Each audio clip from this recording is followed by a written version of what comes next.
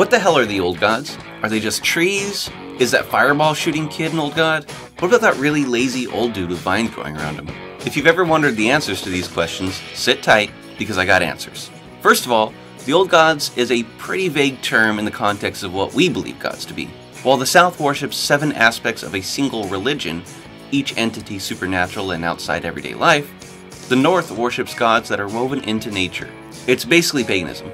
The religion is said to have been adopted by the first men, having been taught it by the children of the forest, small magical creatures who share a deep connection with nature.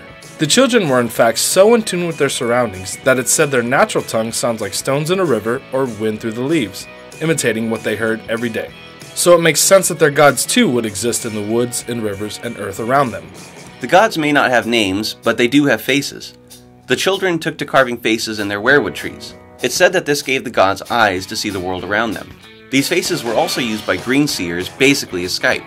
They could look at the world through any other set of weirwood eyes. That is, until the Andals came and cut down almost all of them.